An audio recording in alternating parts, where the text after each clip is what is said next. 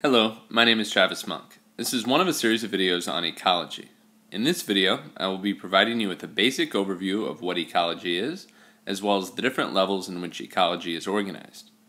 The picture on the top of this slide shows each of the first four levels of organization that this video will elaborate upon. The individual, or organism level, the population level, community level, and ecosystem levels of ecology. Ecology is the study of the interactions between organisms and the living and non-living components of the environment. The picture to the right shows coral, fish, and water. Ecology could study the interactions of the coral with the fish, or look at the impact that the pH or temperature of the water has on the survival of the coral.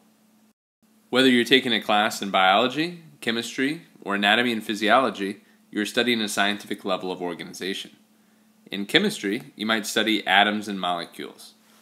Later this year in biology class, we will be studying molecular and cellular levels of organization. If you take a class in anatomy and physiology, the cell, tissue, organ, and organ system levels are emphasized. And in ecology, we'll be studying the organism, population, community, ecosystem, biome, and biosphere levels of organization. It is important to learn about all of these levels of organization by understanding how things work on a very basic level, you can gain a better understanding of how things work in a more complex system. Knowing how bison interact as a population, using the picture to the right as an example, you might begin to understand why or how they interact with different species the way that they do in a community.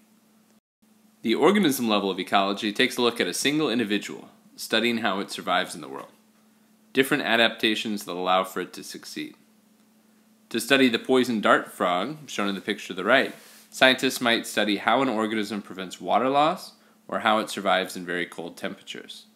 Scientists might also study how the bright coloration in the frog prevents it from being eaten or how its poison is produced. A population is a group of organisms of the same species that live in a particular place at a particular time. Ecologists might study, as the graphic below shows, how a population changes in size over time. In addition, scientists might study how organisms are dispersed in an area or the care that they provide for their offspring. A community would involve all the living components of the environment, that is, many species, in one particular area of the world. In the community level of ecology, scientists could try to determine how the fish and the anemone interact with one another, as exhibited in this picture. Predator prey and parasitic relationships that you might be familiar with are some ecology terms uh, involving this topic. The ecosystem level of organization is very similar in scale to the community level of ecology. The significant difference is that ecosystems would include the living and non living factors in the environment. Using the picture to the right as a reference, scientists might study how species of fish eat plants, like the lily pads observed here.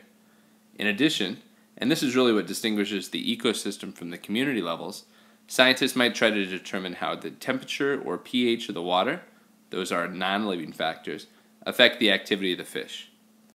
If you were to observe different ecosystems throughout the world, you might begin to detect many similarities.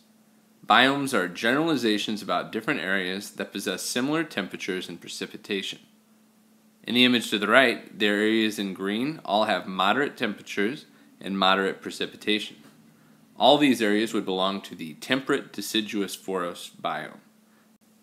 They are made up of primarily large trees, such as oak, that drop their leaves in the wintertime. The final level of ecology, that includes everything above, on, and below the Earth's surface, is the biosphere. This level of ecology looks at the interactions of everything on Earth, the big picture. That is the end of this video, providing a very brief overview of the different levels of ecological organization. If you're interested in learning more about these levels of ecology or any other themes of biology, please subscribe to my channel. Thank you.